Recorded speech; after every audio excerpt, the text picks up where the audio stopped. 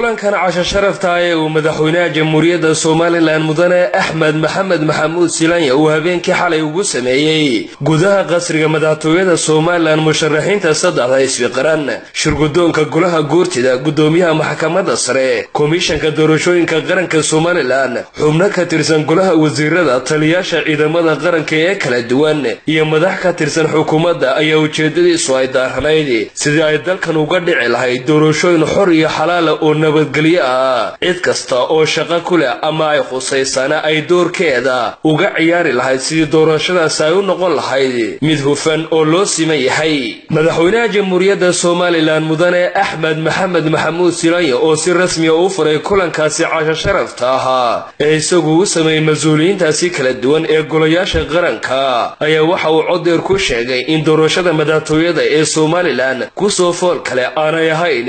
Mid waddanka ku cusub waxaanu musharaxiinta saddex xisbi qaran iyo ku-xigeenadooda ugu soo jeediyey inay dhowraan shuruucda iyo xeerarka kala duwan ee dalka u yaalla mudanayaa doorashooyinku maa wax inagu cusub ee waxaanu leenahay khibrad iyo waayo aragnimo inagu filan. Sidaa darteed waxaa mad ahaan inala gudboon inaynu xakamayno xamaasadda iyo xagtimaha loolanka dhexdeena keeni karo loolanka dhexdeenu keeni karo.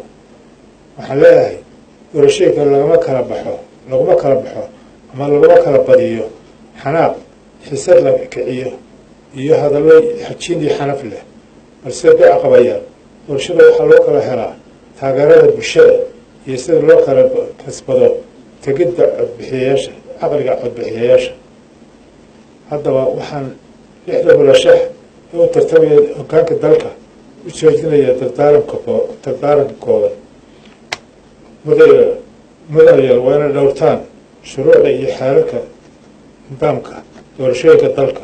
Sidoo kale waxaa waajib idinku ah inaad u dhaganuglaataan talooyinka tilmaamaha iyo amarada guddida doorashooyinka qaranka ee garsoorka idina duca qabayaal waxaa idin leedahay lafaha gura haragana ka tegina. Sidoo kale waxaa gudboon waxaa idinla gudboon inaynu taageerayaasha ku wargelisaan taageerayaashiina ku wargelisaan inay elayaan anshaxa iyo nidaamka doorashooyinka isla markaana ay ka fogaadaan cunfiga iyo wax kasta oo nabadgelyo darro abuuri kara. Saddex waa inaynu dhinac uga soo wada jeesano cid kasta oo abuuraysa xasinood darro iyo xiisad colaadeed waxaa waajib inagu ah muwaadiniinta somaliland ku ah inay murashaxiinta hortooda fadhiyaa inay gacan siiyaan ciidamada qaranka ee ku howlan adkeynta nabadgelyada iyo sugidda amniga dalka qaranka. Madaxweynaha jamhuuriyadda somalilan ayaa waxa uu xasuusiyey musharaxiintaasi. In kursiga uu ku fadhiyo aanu qaadin laba qof iyo wax ka badan. Balse uu waddankan ka noqonayo madaxweyne hal qof iyo ku-xigeenkiisu. Hore ayaa loo yidhi guuli laba nin kama wada qoslisa sidaa darteed kursigan aan ku fadhiyo ma qaado laba iyo saddex nin toonna ee halkan waxaa dalkan waxaa madaxweyne ka noqon doona nin qura sidoo kale waxaa ku-xigeen ka noqon doona hal nin. Mudanayaal waxaa hoggaanka dalka ku wareejin doonaa labada murashax ee doorashada sifo sharci ah ugu guulaystay insha allah. Sidaa darteed saaxiibada loolanka saaxiibada loolamaya waxaan leeyahay marka ay soo baxdo natiijada doorashada waa inaad aqbashaan oo ogolaataan natiijada doorashada. Qarankani wuxuu ku soo meel maray habdhaqan ku dhisan tudhaale talawadaag tawfiiq iyo isu tanaasub duca qabayaan ma aha guuldarrada siyaasaddu in doorashada la kala adkaado balse waxaa guuldarro ah iyo garaad xumo ah inay ku gacan saydho go'aanka guddida doorashooyinka iyo maxkamadda sare. Mudane axmed maxamed maxamuud zilanya ayaa waxa uu sheegay in doorasho madaxtooye uu kaga tegay siddeetan cod isagoo u turaya dalkiisa iyo dadkiisa. Waad xusuusan tihiin inaynu kaga tagnay kursiga madaxweynenimada abril laba kun iyo saddexdii siddeetan iyo siddeetan cod oo aan muran ku ji oo muran ku jiray. Waxaan u turay shacbigayga iyo sharaftayda kumana khasaarin. Ee taasi waa waxay ii goysay inaan isla kursigii ka helo boqolkiiba konton codadkii codbixiyayaasha dalka. Madaxweynaha jamhuuriyadda somalilan oo sii watay hadalkiisa ayaa waxa uu komishanka doorashooyinka qaranka somalilan uga digay inay ku dhaqaaqaan garweecsan iyo go'aan jilicsan. Guddida doorashooyinka qaranka. Waxaan kula dardaarmayaa dadaal dulqaad iyo daacadnimo waxaan ugu waxaan ugu diga uga digayaa garweecsan iyo guddoon jilicsan oo ah geerida guddiga dhexdhexaadka ah iyo haadaha garsoorka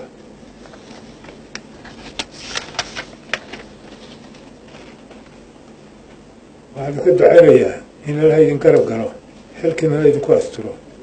Ugu dambayntii ayaa madaxweynaha jamhuuriyadda somalilan waxa uu si weyn u cambaareeyey qaraxii foosha xumaa ee ka dhacay magaalada muqdisho islamarkaana ay ku dhinteen dad aada u fara badani. Waxaan cambaaraynayaa isla falka argixisada foosha xun oo ku ka dhacday caasimadda dalka aynu nahay ee soomaaliya. Waxaan tacsi tiiraya u dirayaa waysaskii iyo qarhabadii ay ka baxeen dadkii rayidka ahaa ee halkaa ku geeriyooday. Gudoomiyaha komishanka doorashooyinka qaranka somalilan mudane cabdiqaadir imaan warsame oo halkaasi ka hadlay ayaa waxa uu sheegay inay dhex u noqonayaan saddexda xisbi qaran.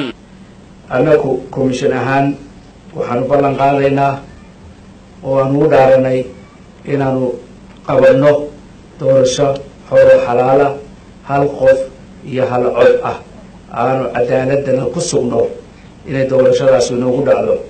Komishankanu wuxuu qabtay diiwaangelin casriya oo inoo qabsoontay labadii kun iyo lix iyo tobankii annagoo annagu haddaanu nahay toddobada xubnood ee komishanka doorashooyinka qaranka. Waxaa naga go-an iyo shaqaalayaanka sasarada inaanu aanu ka soo baxno oo aanu cadaaladda ku sugno. Maxaynay doorashadaana ka dhigno ilaahayna hanala garab kale mid xora oo xalaala. Gudoomiyaha golaha guurtida somalilan mudane saleebaan maxamuud aadan oo la hadlayay lixda musharax ee ku tartamaya doorashada madaxtooyada ee waxa yari ay ka hadhsan tahay ayaa waxa uu sheegay in qaranka somalilan ay badbaadintiisa iyo nabadgelyadiisu ay dusha u saaran tahay lixdaasi musharaxa qarankaa maanta nabadiisa iyo badbaadintiisu waa idinka lixdiina nin iyo ciddii ay adeegsadaan intayada kalena waa idinkaabayna tallaabo qaroocan noo qaadina insha allah guushu ninun bay raacaysa qolun bay raacaysa hal xisbuun bay raacaysa. Ninkii laga badiyo raalli baad noqonaysa. Aniga in badan baa layga badiya wa iska huleelaabun marka waxaan leeyahay ilaahay wanaagga hayna wada tuso. Ilaahay danta qaranka hayna wada waafajiyo xildhibaan oday xaaji cabdikariin xuseen cabdiwaraabe oo ka mid ah xildhibaanada aqalka golaha guurtida somalilan ayaa waxa uu soo jeediyey musharaxiinta saddexda xisbi qaran in doorashada laga ilaaliyo xanafta iyo wixii dhibaatooyin u horseedi kara qaranka somalilan waxaanu halkaasi uga soo jeediyey dardaaran dhaxalgal ah xajinta ha la ilaaliyo qadafka ha yska ilaaliyo kalgacal boodka ha lagu rido iyadoo la ysdhukanayo oo la isjecel yahay boodka ha lagu rido ninba ninkii uu jecel yahay ha ugu rido laakiin yaa qadaf dhicin oon caayi dhicin iman oo colaadla beeri nabadgelyada ha lagu dadaalo nabadgelyada kii helaaba waa inankeenii ninkaa waxaa laga doonayaa sida axmed maxamed siiraaye u socday inuu u socdaa ninka helaa gudoomiyaha maxkamadda sare ee somalilan garyaqaan aadan xaaji cali axmed oo la hadlayay musharaxiinta saddexda xisbi qaran ayaa waxa uu codeer ku sheegay in taariikhdu ay qori doonto wixii doorashadaasi ay ka galabsadaan. Taariikhda idin xusaysa.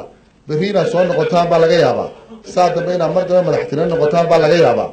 Markaa inaad la taliyaashiina dhegaysataan laakiin go'aanka masiirigaa iyo kaba dambaysta inaad idinku qaadataan oo mar walba danta qaranka aad ka talisaan.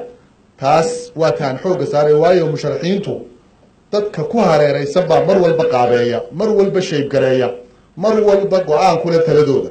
Markaa taasaan anuu ku talinayaa hadday xitaa isnaqdiyaysaan in qaabka programkiinu ku salaysan yahay inaad naqdidaan laakiin naqdinta laga ilaaliyo shaksi ama wax shaksi weerara laakiin programka la naqdiyo oo ma soconaya ma guulaysanaya ma mid la iibsan kara ma yahay inaad taa ku salaysaan doorashadaasna ilaahay mid khayrlaha ka dhigo guddiga doorashooyinkana shaqo fiican bay qabteen musharaxiinta saddexda xisbi qaran ee somalilan oo iyaguna halkaasi ka hadlay ayaa waxa ay ballan qaadeen inay aqbali doonaan natiijada ka soo baxda doorashadaasi islamarkaana ay u hoggaansamayaan sharciga dalka u yaalla anigu dee waanu barano kolley anigu ambaa boobeeliyaan boobe waan iska ogolaan doona hadday waxyeelaan insha allah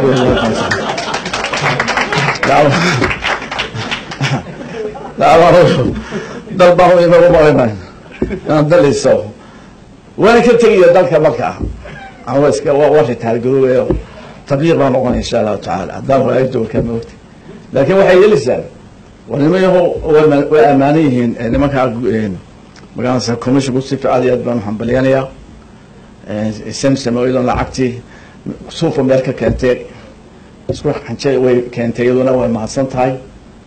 Waxaan idinku raacsannahay in laga ilaaliyo doorashada xajiinta weliba anagu waxaan balan qaadaynaa maadaama aanu xisbul xaakimkii nahay oo mas'uuliyad kawinku oo kale ayna saaran tahay inaanu qaadano wixii qardoofooyin iyo gardarhay nagaga yimaada xisbiyada mucaaridka. Waxaan qabaa oo anigaa arkaya inay somaliland si ay horeba ilaahay ugu suurto gelin jiray ay noo dhici doonto oo inoo qasooli doonto doorasho nabada kii guulaysta lagu hambaliyeeyo inagoo wada jira oo midaysan oo dalkeena iyo dalkeena midaysanna doorashadaas aynu ka bixi doono ayaa aada iyo aada u aaminsanahay. Ilahay baan ka rajaynaya noo rumeeyo waxay tahay dardaaranka madaxweynaha iyo mas'uuliyiinta kaleba. Ee nala soo jeediyey waa qaadanaynaa haddii ilaahay ka dhigo. Aada u dhacdaadi maayo sidii muuso laakiin waa qaadanaynaa haddii ala idhaahdo waxaan rajeynaya ilaahay ka rajeynaya in doorashadu ay noogu qabsoonto si nabadgelyaa inooguna dhammaato si nabadgelyaa axmed saki daahir xasan iyo cabdilaahi cali suudi. Warbaahinta qaranka somalilan qasriga madaxtooyada somalilan ee hargeysa